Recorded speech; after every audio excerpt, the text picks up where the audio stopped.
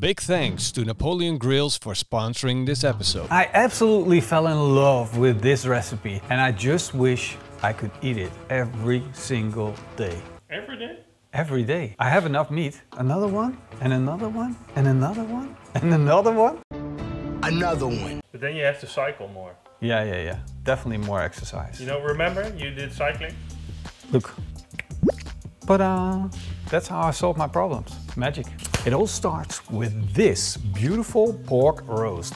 This comes from my own pigs that have been raised in my own garden and they've been grown nice and fat and very, very tasty. And now I have them on my cutting board ready to be eaten. We're gonna do something special this time. This is basically the same thing as a beef T-bone roast. And the pork meat is beautiful red of color with a nice thick fat cap sitting on top of it. The first thing that I'm gonna do is make incision right here all the way to the backbone. Basically, I'm creating pork chops which are still attached with a nice little gap in between and the more incisions in the meat, the better this recipe gets. You want to check the cuts to see if they've gone through nice and opened enough gap for you to put something in it. Something in it? Yeah.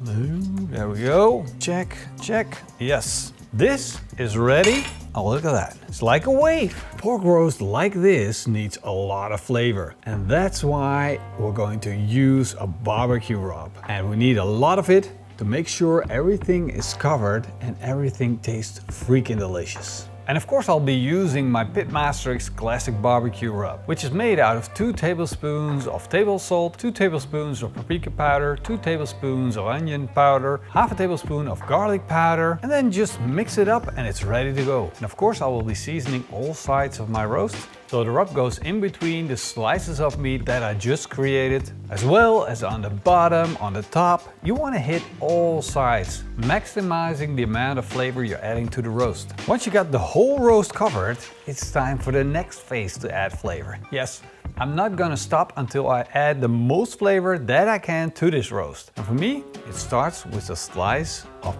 beautiful young Gouda cheese. The best export product out of the Netherlands, so make sure you get your hands on some. I'm gonna lay down a slice of it, put on a slice of ham, two slices of chorizo, and then I'm going to fold it up and stick it into my pork roast. Jam it in there as deep as you can and then continue that process until you filled up the whole roast. Of course I want my floppy bits to stay where they are so I'm gonna stick in a skewer and connect all the parts. If I put it straight up like this on the bones it's gonna be ruined because all the cheese is gonna drip out. So what I want is the cheese to drip over the roast and then I'm gonna place it like this and then it's going to melt like one big toasty while the pork is cooking. This is gonna be so freaking amazing, but I'm not gonna tell you just yet. First thing that we need to do is now to get our barbecue hot and start cooking this thing. And this is the beast that I will be using. This is the Napoleon Prestige Pro 665. This thing is an absolute monster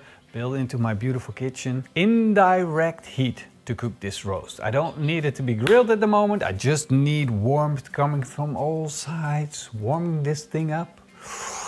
So let's turn on the outside burners. Of course, of course this might be handy to open the gas bottle first. And what I never do, but you should do, is fire up the barbecue with the lid open. So you won't have any weird explosions or stuff like that. We're going to let it come up to temperature, but we're also going to put in the roast right now. There we go. Then close the lid and let the roast come up to temperature. The cheese is melting, the chorizo is crispening up. Look at that, drizzling cheese. Wow. And the core temperature of course is rising as well, which means we are ready for the next phase of this cooking process. And therefore I'm gonna need a huge pan. In this case I'm using my favorite Skottsberg pan. It is a giant pan that I can put a whole roast in and it's steel. I'm gonna take this pan, put it underneath the roast, and that's basically gonna be my oven tray because I'm gonna put on a whole pack of butter. I'm just gonna let it sit there and baste the roast. Of course, I'm also gonna add some chives, some garlic, a little bit of lemon juice, and some of that PitmasterX classic barbecue rub. I'm gonna close the lid and let that melt. You ready to go? Because it's time to butter it up. Let's put that butter on because this is our basting pan. It's gonna heat things up, a little bit of flames everywhere. And that's what this butter is supposed to do in this pan. It's a dripping pan for the fat rendering down from the pork and it's a dripping pan for all of that butter and herbs to be put back on the roast, create a really nice crispy exterior and add more flavor to our recipe. Now the roast is done, we got plenty of flavor on, time to take it off the grill and take a closer look. Let's take the pins out. Just take a look at how delicious this is. The outside crispened up, beautiful roasted, plenty of color, crispy chorizo, and as juicy as can be. Now you want it, I want it. I'm gonna start by cutting into the back and separating the meat from the bones. Look at that. All those juices going over. I'm not gonna let anything go to waste here. Look at that. And these bones are gonna go to my favorite doggy. It's yours if you want it, otherwise I'm giving it to the chicken. I'm giving it to, for real. There you go, see? It could be yours. Now it's for the chicken. You just want it because I gave it to the chicken.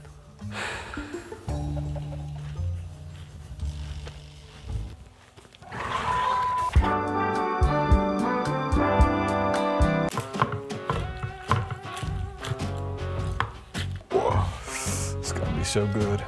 I need me a slice of that. Let's go, baby. With my hands, go and go in. Still a bit hot. Oh. Mmm, look at that. We got pork, we got juiciness, we got crispiness. This roast is so delicious. You definitely need to give it a try. It's easy to make. It is cheaper than beef. It is very, very tasty and you can share it with loads of people. So what's not to like? Mm.